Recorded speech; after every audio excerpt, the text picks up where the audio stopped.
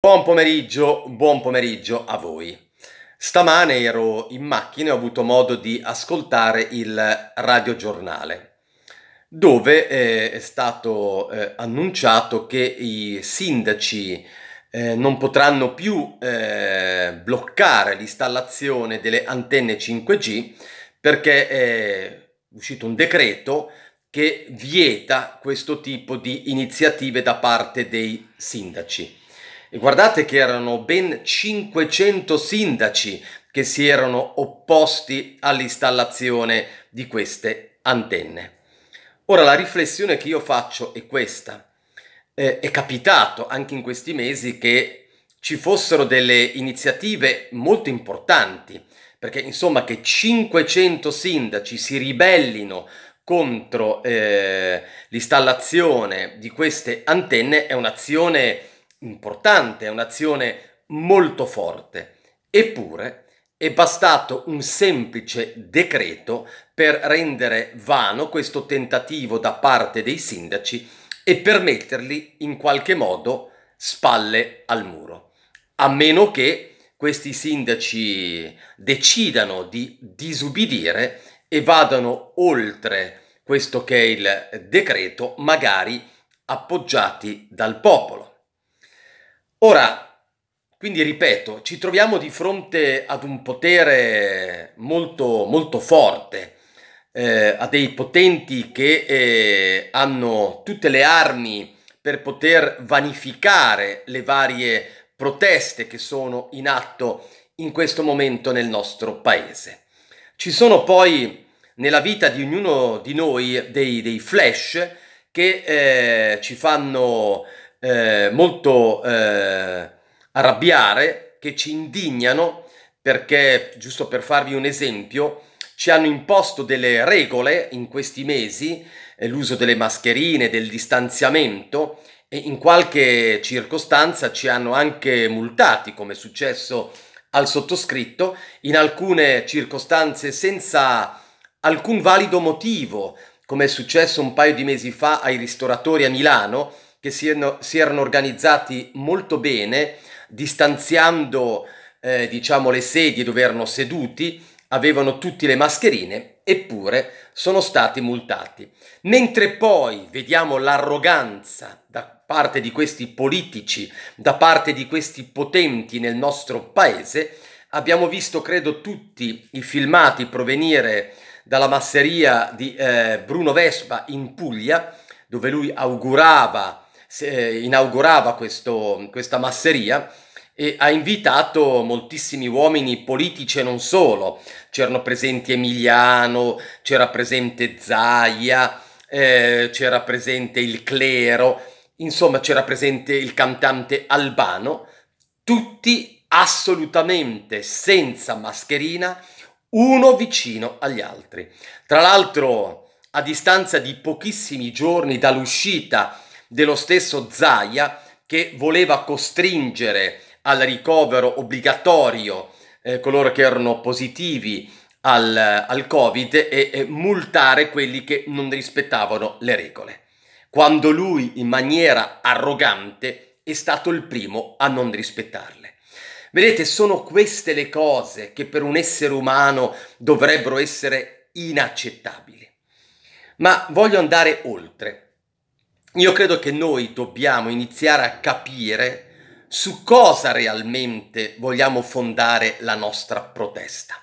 Perché in questi mesi ci sono state migliaia di proteste, se ci fate caso, e gli avvocati, e i ristoratori, e quelli per il 5G, e quelli per i vaccini, e quelli contro le regole, e quelli contro la riapertura, e quelli contro l'obbligo dei vaccini. Cioè, potrei citare centinaia e centinaia di, eh, di situazioni, di eh, manifestazioni che ci sono state.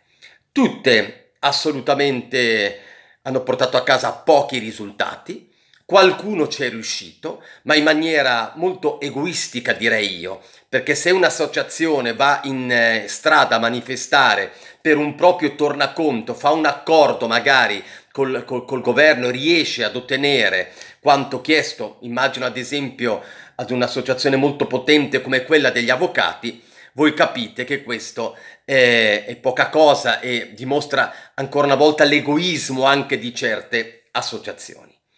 E invece noi dovremo batterci tutti quanti per un'altra cosa, per quella che è la qualità della nostra vita. Il nostro paese è uno dei paesi, soprattutto del mondo occidentale, dove ci sono gli stipendi più bassi, che è una cosa inaccettabile, inaccettabile. Nei paesi del nord, no, che noi abbiamo per vari motivi giustamente molto spesso attaccato, però vi assicuro che un operaio fa una vita dignitosa molto ma molto migliore, molto più agiata che non un operaio italiano. E per contro i politici italiani sono coloro che di gran lunga hanno lo stipendio più alto di tutti i politici in Europa. Vedete, quindi noi dovremo indignarci e andare contro questi privilegi da parte dei politici, contro il fatto che invece per contro lasciano alla fame intere categorie di lavoratori.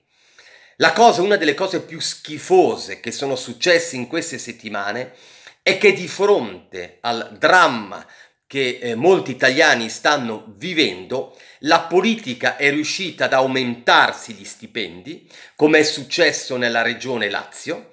Eh, Zingaretti ha aumentato gli stipendi dei suoi consiglieri, oppure ancora peggio, pretendere di, eh, così, di eh, reclamare i propri diritti per quanto riguarda i vitalizi, e sto parlando sempre dei politici italiani. Questo vuol dire non avere coscienza, non avere dignità, perché perlomeno in un momento così critico, io che in fondo sto già bene, perché mh, mm, non ho mai sentito di un politico che al fine di una legislatura poi se la passi male, ecco, di fronte a una situazione del genere, io vado ancora a chiedere il vitalizio e a chiedere di avere un qualcosa in più quando ci sono italiani che sono letteralmente alla fame.